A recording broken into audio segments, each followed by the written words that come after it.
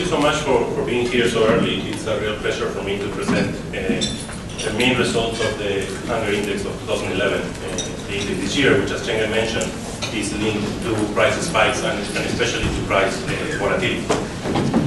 The idea of the index and, and, and, why we have been working together to try to bring this index every year is to raise awareness of regional and country difference in hunger, to show progress over time. Now, in this year's edition, we can compare across time. It's important to give us an idea of how the index is evolving over time.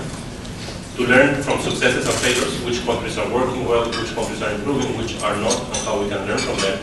And also to provide in incentives to act and improve international ranking, because countries will see between each other how, is, how they are evolving uh, uh, over time. Now, what does the Global Hunger Index uh, measure? Uh, and it incorporates three dimensions. It incorporates undernourishment, which is a proportion of the population that is undernourished as a percentage. Child underweight, which is the prevalence of underweight in children under five. And child mortality, which is the proportion of children dying before the age of five. And we do a very simple index in which we combine these three dimensions, and with that we obtain uh, our global hunger index. Of course, you can use different weights to combine, and we have done several robustness checks, and the results remain basically the same, and that's why we decided to go to a simple measure that we can uh, use and easily explain uh, to people of this ranking done by the Hunger Index. The, the countries ranked normally on a 100-point basis, although we won't have extreme values, uh, but that allows us to have the intensity of where the index is, which will go from low to moderate hunger, and normally we will put it as blue, to situations which are extremely alarming. And those are the ones where we need to really focus on which are the important policy recommendations, and also in the alarming ones, uh, to be able to avoid uh, effects of uh, undernourishment and, of course, effects of over the years over the kids. One of the major issues and one of the major problems that we have to go through every year is the availability of data. Uh, this year, we were able to get data for the three different components uh, from 2005 to 2007 for the percentage of undernourishment, 2004-2009 for the underweight indicator, and 2009 for under 5 mortality. But that's a challenge and that's something that we need to push and put pressure to be able to improve this data and to be able to get more updated data on these three types of indicators. And I think we need to support initiatives similar to what AMIS is trying to do in terms of food reserves and prices to be able to get all the data required to have an updated measure over time. Now, what is the performance of the of indicators, the regional performance of the indicators? And here we are plotting uh, the evolution over time of the global hunger index for the different regions uh, across the world. And as you see, most of the in all the cases there is a decrease. Although what is extremely alarming is the situation that we are facing still in sub-Saharan Africa and in South Asia.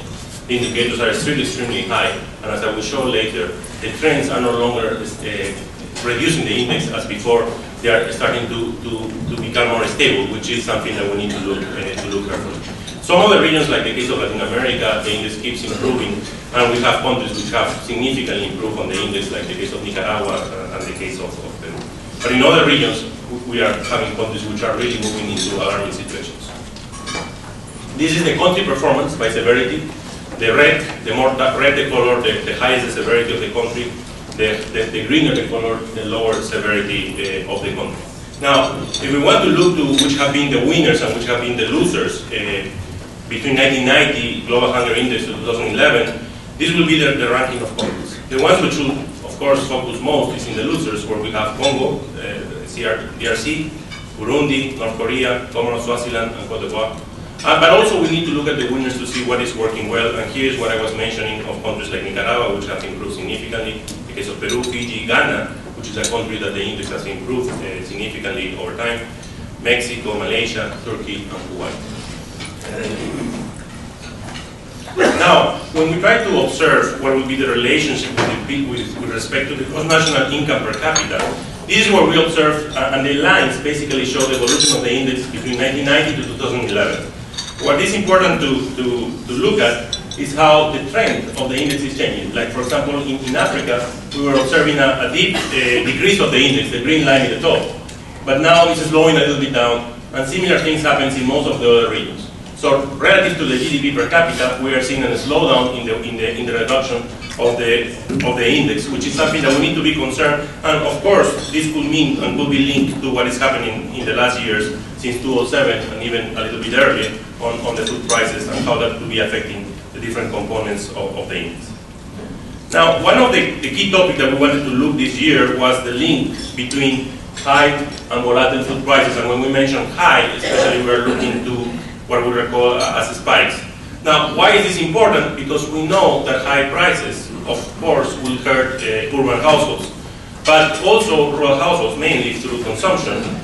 But also the major problem is that volatility will also hurt both, because in the case of the producers, they won't give them clear signals where to invest, and that for sure will have an effect over the production. And if they are also net producers and consumers, they will have to affect their income and will affect their consumption. So that's something important and something that we, wanted to bring up because we find differences, significant differences in terms of the volatility today relative to the historical uh, levels of volatility. So let me go briefly through, through, the, some graphs to show the situation. This is historical evolution in real terms of the price of corn. But the only thing I want to bring in this message is that if you look at the 207, 208, and even if we look at the 2010, which is not clear there, it will be a little bit higher.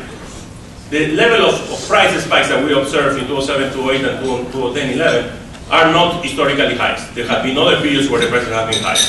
Okay, so historically we are in spikes, which of course damage consumers, but we are not historically in the highest levels. Now, in real terms, the problem we are facing today is that we have very low stock-to-use ratios. And, and, the green line shows the evolution of the stock-to-use ratios uh, on the world, and the orange line shows excluding China because we have a lot of concerns about the quality of the data of reserves of China. And this is linked, if you look at this graph and you correlate this graph to, to the price evolution, is linked, the level of stock-to-use ratio should be around 30%, is right now around 20 or less which is a problem.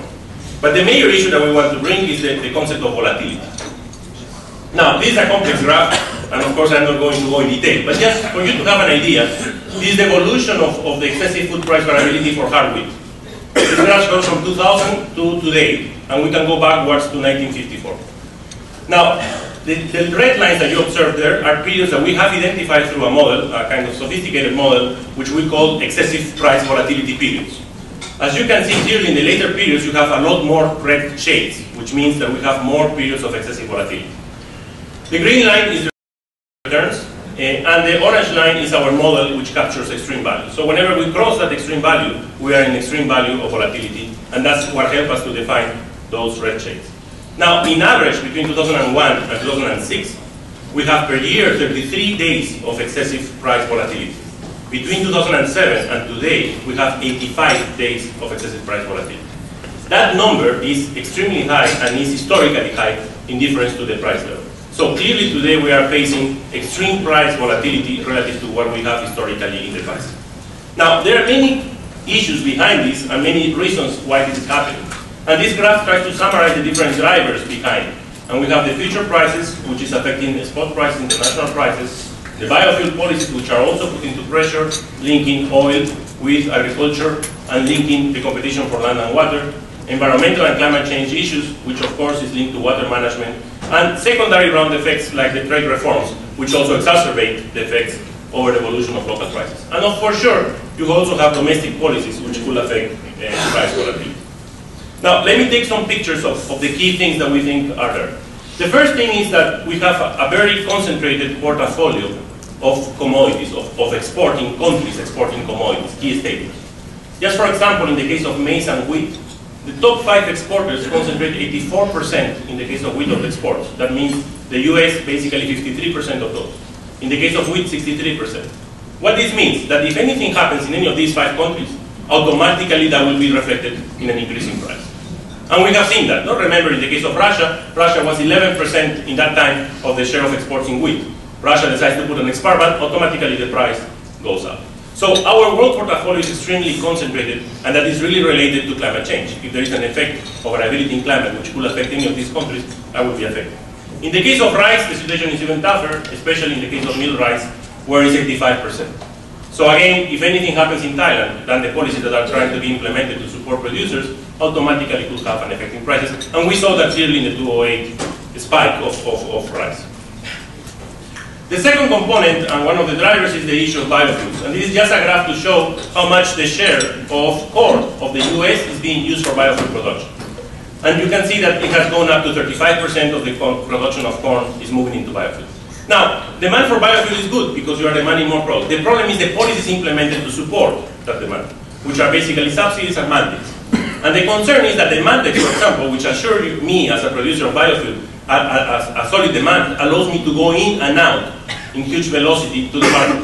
And that in and out creates an influence over volatility.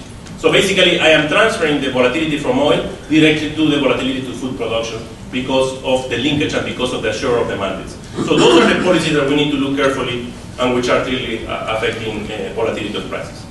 And then the last driver or the previous to the last, is the, is the issue of the climate change. And this is basically showing some simulations of different scenarios of economic growth, where the, the pessimistic scenario is where we assume high population growth and low economic growth, and the optimistic scenario is when we have good economic growth and low population growth. And in all the cases, if we bring the climate change scenario, we will observe a significant increase in, in prices. The last driver uh, is the link towards financial markets. And what we have seen is that there has been a significant increase in the activities in the financial markets. The problem with this is that only 2% of those transactions get realized. So just for example, in the case of corn, three times more than what is produced is being traded in the, in the, in the futures commodity. Now, this doesn't mean that liquidity is bad because this brings liquidity to the market. But what it means is that I am creating an overheating of the market. And we need to look carefully into how much liquidity we need to have in this market and how much excessive liquidity could put significant pressures over prices. And finally, the export bans, which are policies derived by the countries, which also create an effect, because it's not only the natural shock, but also the influence of the different export bans, which will create an increase in prices. So let me now go to the key recommendations. The first group of recommendations are policies to address the drivers of price spikes and food price volatility. The first one is to revise biofuel policies, especially mandates and, and to eliminate subsidies or reduce them regulate financial activities in food markets to which we need to look carefully into the derivative markets and what policies of transparency, of information should be put in place, adapt to and mitigate extreme weather and climate change, and invest in agricultural research and development to improve our portfolio of exporting countries. The second set of policies are to tackling global market characteristics affecting volatility and price spikes. And here we talk about balanced global export market structures through the promotion of rural agricultural growth, build up food and global and regional emergency reserves, similar to what Prepare is trying to do in the case of, of the World Food Program and the pilot which is supposed to happen in, in West Africa. Collect and share information on food markets, and this is being pushed through AMIS, the Agricultural Market Information System. And finally, the policy to help households to cope, which is establish national social protection systems, which are extremely important, and this is especially important for the case of Sub-Saharan Africa, improve emergency preparedness, invest in smallholder farmers and sustainable and climate change adaptive agriculture, foster and support non-farm income opportunities in rural areas and improve livelihood options for the poor in urban areas, and finally, strengthen basic service provisions at all levels. Thank you so much.